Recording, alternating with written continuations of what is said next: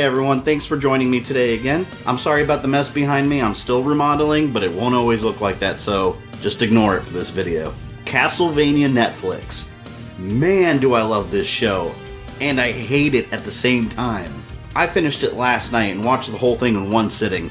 It's four episodes, about 25 minutes each. And it left me wanting more so badly. I, I get it. When shows first start, you'll have that first season that's only got a couple episodes. Walking Dead did it. I think that had like five episodes or something like that. So I get why it's so short. But there is good news. They renewed it for season two officially with eight episodes coming next year. And that's why I hate this show because it's making me wait. I want more now. Alright, let me calm down. I don't hate the show. I, I quite loved it. I'm just a little butthurt that I have to wait a whole year to get more. I don't even know like what I'm gonna do till then. I'm just gonna be thinking about it all year until it comes. This review does have spoilers because I do not want to hold back talking about this show. I don't give a fuck. So again, spoilers. And we're gonna compare it to the game that it's based off of also. It's amazing to me how many trailer reaction videos I saw online that got the information wrong. When the trailer first aired, I typed in on YouTube Castlevania Netflix trailer reactions because I wanted to see what everyone thought. Over half the videos I saw were just full of misinformation. I, I specifically remember one where the thumbnail said something like Castlevania Netflix explained. When you watch the video, he's explaining that the show is based off the original Castlevania game for the NES, starring Simon Belmont. And he had a screenshot of Trevor, by the way, from the Netflix series, and he's talking about Simon. It's completely wrong. The series is based on Castlevania 3 Dracula's Curse, starring Trevor Belmont, the prequel to the original game, which tells the story of Dracula's first attack against humanity. I was honestly impressed at how well the series told the story of why Dracula decided to wipe out the human race. Let's take a look at the NES game real quick. This is the entire story. Just a couple of paragraphs before the title screen that weren't even written that well. And then you just start the game. Storytelling in video games wasn't really an important aspect of gaming back then, like it is now. Video games nowadays are equivalent to movies, and actually, sometimes they even surpass movies. Back then, you just kind of hit the start button, went on your adventure, and fought a bunch of bad guys. Now, over the years, Castlevania has had a bunch of prequel side stories and, and sequels that fleshed out that storyline and filled in all the details. And the Netflix series takes its time building up all these characters and these situations so you understand all the characters and all their motivations. It might only be four episodes long, but they're not rushing anything to fit it into all four episodes. It all progresses slowly enough to where you can get attached to these characters, but you're not bored waiting for something to happen. There's always something going on. I've been wanting something like this from Castlevania for years. There's been a couple attempts to make live action movies, a direct to DVD release of Dracula's Curse, and now we have this Netflix series. Now we have something worthy. The main reason that Dracula hates humans in the Castlevania universe is because of what happened to his wife Lisa. In the video games, we get a brief glimpse of what happened to her in Symphony of the Night, but we really don't know anything about how her and Dracula met why they fell in love. We just know she became his wife for some reason. Then she was burned at the stake after being accused of being a witch. The series turns her into a town doctor that was searching for knowledge to help the people of her village. So she heard of Dracula having all sorts of knowledge in his castle. Within just a couple of minutes of starting, the series shows us the bond between Dracula and Lisa. She wants to learn from him and convince him to use his knowledge to help mankind, and she encourages him to travel the world and live among people. The world is changing. Travel like people do. You might like it. And Dracula is intrigued by her wittiness and her fearlessness of him. I am Vlad Dracula Tepes, and I do not get many visitors. What have you to trade for my knowledge? Perhaps I could help you relearn some manners. I've crossed the threshold of your home, and you haven't offered me a drink or even to take my coat. I think I might like you. They don't spend a lot of time developing their relationship in this first episode, but it's enough so first time viewers understand how they fell for each other and why. Something that was never really touched on in the games. We also see when Lisa's burned at the stake and it's it's pretty brutal. I know it's not your fault, but if you can hear, They don't know what they're doing. Be better than them.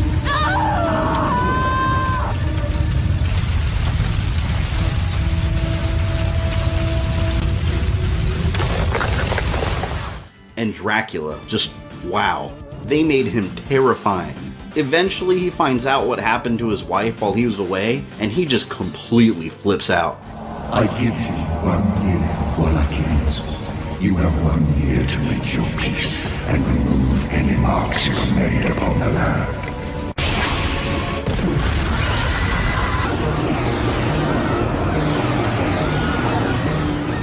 It's crazy because he's this ridiculously powerful vampire that decides to wipe out all of humanity, and he summons a demon army that does horrible, horrible things.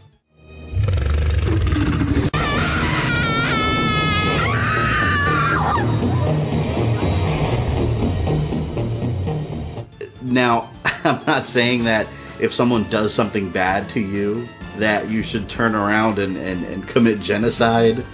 But in this Castlevania universe, I, I, I could see why Dracula lost his mind. For the most part, he wasn't really bothering anybody. He was just this vampire hiding away in a castle isolated from mankind. In fact, some people didn't even know Dracula was real, they just thought he was some kind of myth to scare children. Oh God! Dracula! He was supposed to be myth. A story made up by heretics.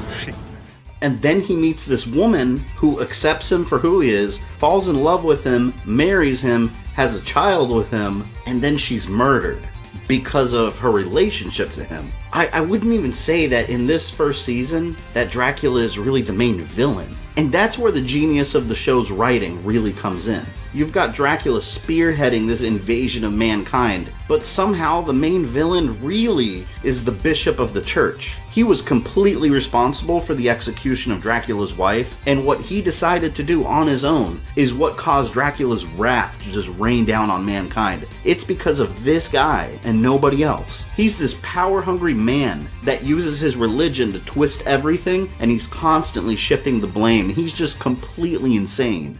You think the Night Hordes came because people weren't religious enough? The woman was a witch, and there can be no doubt now that she consulted with the devil. My God. You really believe it, don't you? And what's even better is that he's a made up character, but he fits so perfectly into the story, and he's just, he's despicable. By the way, you're all going to die. What? The current bishop of this place is, well, he's beyond insane. Over the top and into new lands of just snake fuckingly crazy and convinced that the salvation of Gresit lays in you people being torn to pieces by a mob.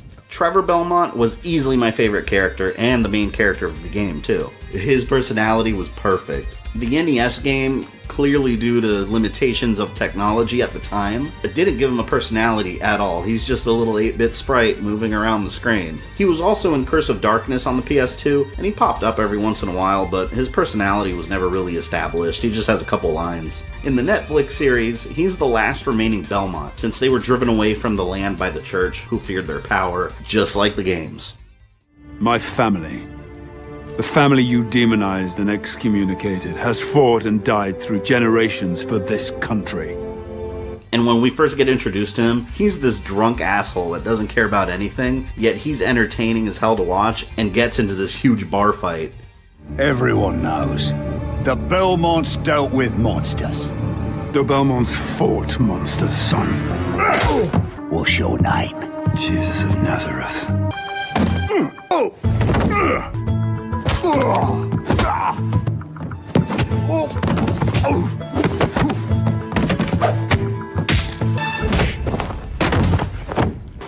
I used to fight fucking vampires. I'm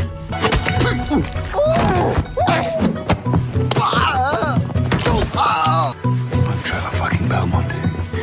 And I've never lost a fight to man, nor fucking beast. And he gets hit in the nuts twice. Try again. No! Would you please leave my testicles alone? Eventually, he sees all the pain and suffering that Dracula's armies are causing, and as expected, he decides to become the hero that he was always meant to be. And now Dracula is carrying out an execution order on the human race. Do you care, Belmont? I didn't. No. But now. Yes. It's time to stop it.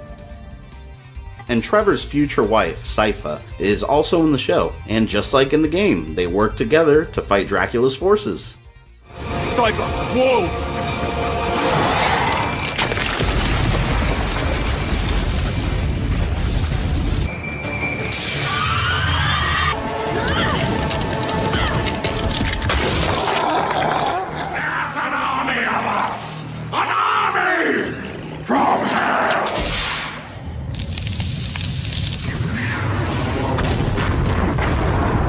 Having played Castlevania 3 a million times, I was analyzing every scene, examining how they translated these 8 bit graphics into a modern animated style. And let me tell you, the team behind the show absolutely paid attention to the source material. In the show, Trevor discovers that Sypha was turned into stone by a Cyclops, and then he has this battle with it, which is a boss battle in the game.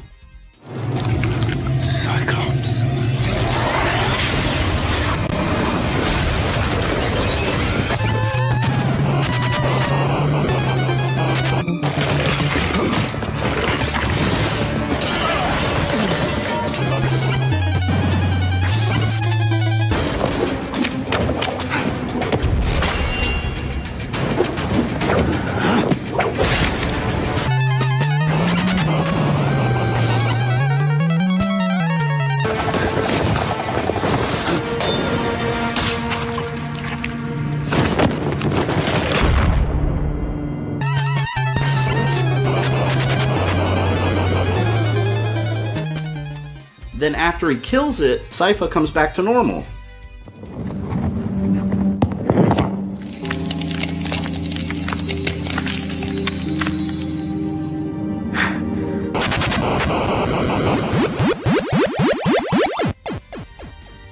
These little details left me so impressed. And the series also details that Sypha is part of an organization called the Seekers. They're trying to help the land and practice magic. So, of course, the bishop is trying to turn the people against them and blaming them for all the monsters. Dracula's son Alucard also appears in this first season, trying to stop his father from destroying the human race.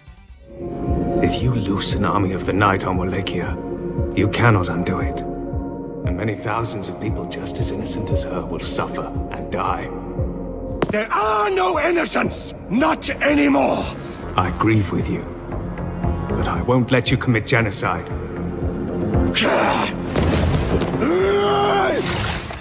And Trevor and Sypha find him in a coffin and wake him up, not realizing who he is. This is another moment where they paid attention to the details. In the NES game, you have a boss fight with him, where he's just kind of testing Trevor's powers. Then after you beat him, he joins you. And it happens the same way in the series, with this epic fight between the two that had a smile on my face the entire time.